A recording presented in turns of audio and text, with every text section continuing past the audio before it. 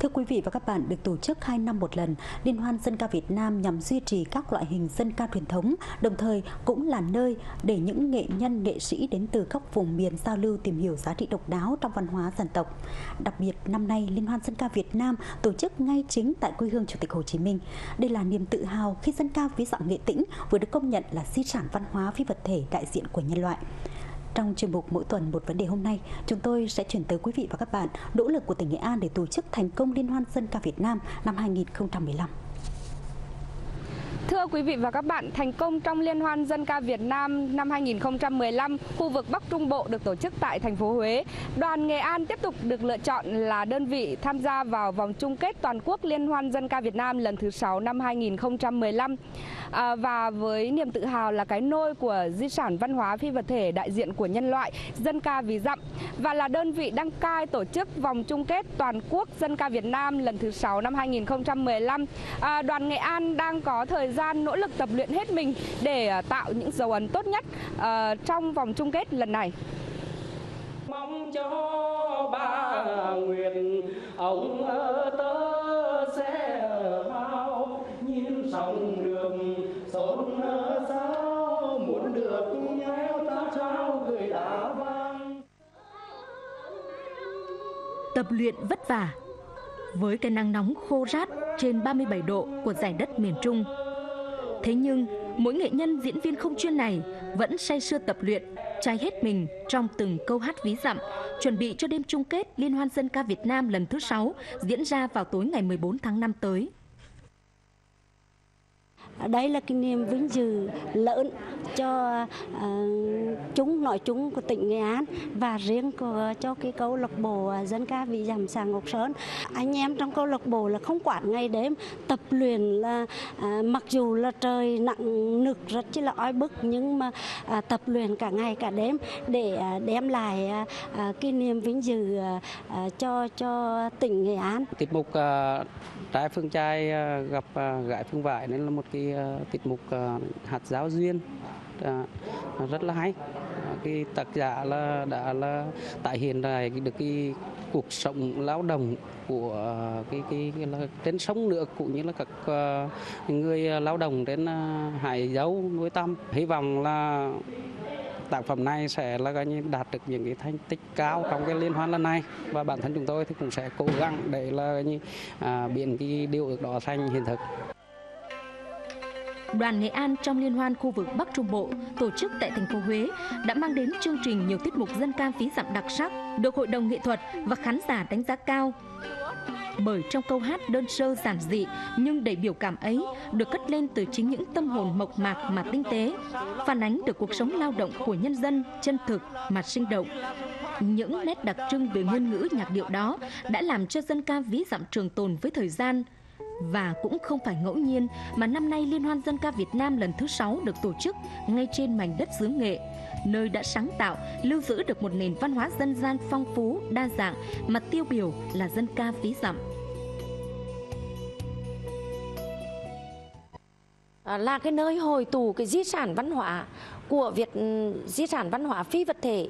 của Việt Nam cũng như là của thế giới hồi tụ về đây về quê hương của người đụng với cái ngày sinh của người thì đó là một cái điều mà tôi nghĩ rằng là hết sức ý nghĩa. Chúng ta giới thiệu à, với công chúng cả nước và thế giới biết đến cái không gian diện sướng của à, dân ca xứ nghệ. À, nó bất cứ ở đâu một cái không gian nào thời gian nào đều hát được vị giảm từ ngày 10 tháng 5, các đoàn được tuyển chọn tham gia vòng chung kết Liên hoan dân ca Việt Nam năm 2015 đã đến thành phố Vinh, vượt qua hàng trăm hàng ngàn cây số, vất vả thế nhưng được hội tụ ngay tại quê hương của Chủ tịch Hồ Chí Minh. Mỗi nghệ nhân diễn viên không chuyên có thêm cơ hội để tìm hiểu những giá trị độc đáo trong kho tàng văn hóa các dân tộc Việt Nam. Bên cạnh đó, về với quê hương Bác dịp này, các đoàn có dịp được hòa mình vào nhiều hoạt động mà tỉnh Nghệ An tổ chức nhân kỷ niệm 125 năm ngày sinh Chủ tịch Hồ Chí Minh. Bản thân tôi thì đi nhiều rồi, nhưng mà đối với nghệ nhân cảm thấy rất rất thoải mái. Lần đầu tiên đến cho bác và cấp à, tổ chức của ban tổ chức ở nơi này hết sức rất chu đáo và tất cả các nghệ nhân chúng ta thấy hết sức rất thoải mái trong đợt này và hết sức rất vui vẻ. À, thì à, tôi cũng cũng xin à, thay mặt cái nghệ nhân à, ở tỉnh Ninh Thuận và chúng tôi cũng hết sức là à, chúc cho ban tổ chức chúng ta là tổ chức trong cái đợt này à, chúng nó thành công, tốt đẹp. Quê hương của bác là lần đầu tiên đến đây rất là háo hức và cũng cảm nhận được mọi người ở đây thì rất là thân thiện đối với chúng em và đến với chung kết liên hoan dân ca này thì cái tiết mục của chúng em đến đây là đại diện cho hơn 20 dân tộc của tỉnh Lai Châu đến tham dự chung kết này thì cái tiết mục của em mang đến là nó có mang cái bản sắc của ờ, mỗi dân tộc chung là cũng là mang cái ý nghĩa là mừng ờ, ngày sinh của bác là đơn vị đăng cai tổ chức Liên hoan dân ca Việt Nam lần thứ 6, tỉnh Nghệ An đã yêu cầu các sở ngành đơn vị của tỉnh phối hợp triển khai thực hiện các nhiệm vụ đảm bảo mọi điều kiện liên quan như công tác tuyên truyền quảng bá về chương trình, sắp xếp địa điểm ăn nghỉ cho các đoàn về tham dự liên hoan. Công tác hậu cần an ninh trật tự, phòng chống cháy nổ, điện nước, vệ sinh môi trường cũng được đảm bảo chu đáo trong thời gian diễn ra liên hoan. Để chuẩn bị cho cái ờ, công tác ờ, ờ, đêm chung kết hoạt động chung kết liên hoan dân ca Việt Nam sóng phát thanh truyền hình lần thứ sáu tổ chức tại Nghệ An thì kế hoạch ủy ban tỉnh đã phân công và sở thì sở văn hóa thể thao du lịch chúng tôi cũng đã có cái chủ động để chỉ đạo các đơn vị hoặc là cái hoạt động của cái mảng du lịch thì cũng có hướng dẫn các cái nhà hàng khách sạn à, để tạo điều kiện thuận lợi cho các cái nghệ sĩ các cái nghệ nhân về tham gia các cái điểm à, du lịch văn hóa lịch sử văn hóa cái nơi mà có thể là du khách hoặc là các cái đoàn à, nghệ nhân người ta về đi tham quan thì phải chuẩn bị chú đáo để công tác đón tiếp để giới thiệu quảng bá hình ảnh văn hóa của Nghệ An với, với bạn bè của cả nước về tham dự.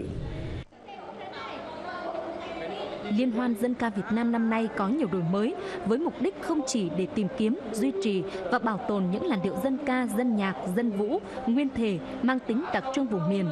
mà còn hướng tới duy trì phong trào hát dân ca trong đời sống hiện đại, tìm kiếm và bồi dưỡng những nhân tố mới, đặc biệt là các bạn trẻ. Với tỉnh Nghệ An, Liên hoan dân ca Việt Nam là dịp thuận lợi để quảng bá giới thiệu với công chúng cả nước về vẻ đẹp và sức sống của những làn điệu dân ca ví dặm. Thưa quý vị và các bạn, vòng chung kết toàn quốc Liên hoan dân ca Việt Nam lần thứ 6 năm 2015 sẽ được diễn ra tại Nhà văn hóa lao động tỉnh Nghệ An. Chắc chắn rằng với sự chuẩn bị chu đáo kỹ lưỡng của tỉnh Nghệ An và sự tập luyện công phu của các đoàn à, thì à, liên hoan lần này sẽ diễn ra thành công tốt đẹp và để lại nhiều dấu ấn trong lòng các nghệ nhân, nghệ sĩ à, về tình đất, tình người xứ Nghệ.